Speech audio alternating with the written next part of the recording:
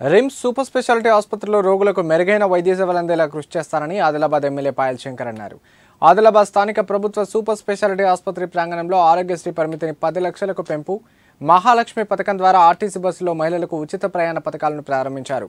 ఈ సందర్భంగా ఏర్పాటు చేసిన కార్యక్రమంలో మాట్లాడుతూ ప్రభుత్వం ప్రవేశపెట్టిన ఆరోగ్యశ్రీ మహాలక్ష్మి పథకాలను సద్వినియోగం చేసుకోవాలని కోరారు.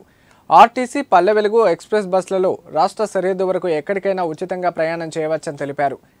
ప్రభుత్వం ప్రవేశపెట్టిన ఉచిత ప్రయాణం పది లక్షల పెంపునకు సంబంధించిన పోస్టర్లను అధికారులతో కలిసి శాసనసభ్యులు ఆవిష్కరించారు. అనంతరం బస్సు ప్రయాణాన్ని జెండా ఊపి ప్రారంభించి మహిళలతో ఎమ్మెల్యే అధికారులు ప్రయాణించారు.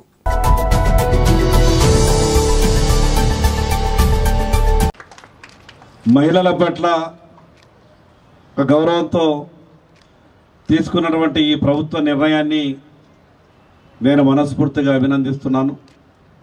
మరి అదేవిధంగా ప్రభుత్వాలు ఏవైనా పార్టీలు ఏవైనా చివరికి అంతిమ లక్ష్యం ప్రజలకు అన్ని విధాలుగా సేవ చేయడమే ప్రభుత్వం యొక్క లక్ష్యం. మరి ఈరోజు నరేంద్ర మోడీ గారు గొప్ప ఆలోచనతోని ఆయుష్మాన్ భారత్ అనే పథకం ద్వారా ఈ భారతదేశంలో ఉన్నటువంటి అంతకుముందు గతంలో ఆరోగ్యశ్రీలో కేవలం రాష్ట్రం మట్టుకు మాత్రమే కొంత అవకాశం ఉండే. కానీ ఈరోజు నరేంద్ర మోడీ గారు ఈ భారతదేశంలో ఎక్కడైనా సరే పేదవారు వెళ్ళి చికిత్స చేసుకునే విధంగా గొప్ప పథకాన్ని ప్రవేశపెట్టిండ్రు.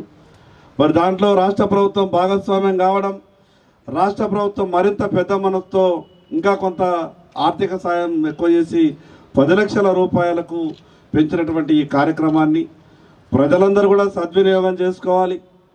మరి అదేవిధంగా ప్రతి పేదవాళ్ళకు ఆసుపత్రి విషయం వచ్చినప్పుడల్లా చాలా ఇబ్బందులు వస్తాయి. నొప్పి వచ్చినా రోగం వచ్చినా అది చెప్పి రాదు. అప్పు పుట్టాలంటే కూడా విపరీతమైనటువంటి ఇబ్బందులు.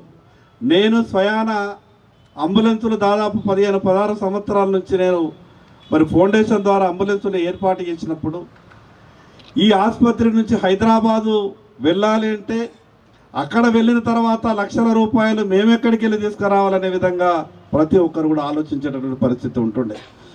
మరి గతంలో రెండు లక్షల రూపాయలు ఉన్నటువంటి పథకం తర్వాత ఐదు లక్షలు కావడం కేంద్ర రాష్ట్ర ప్రభుత్వాల భాగస్వామ్యంతో తర్వాత పది లక్షలు కావడం ఇది నిజంగా కేంద్ర ప్రభుత్వాన్ని రాష్ట్ర ప్రభుత్వాన్ని మనస్ఫూర్తిగా జిల్లా ప్రజలందరి తరపున నేను ప్రత్యేకంగా ధన్యవాదాలు తెలియజేసుకుంటా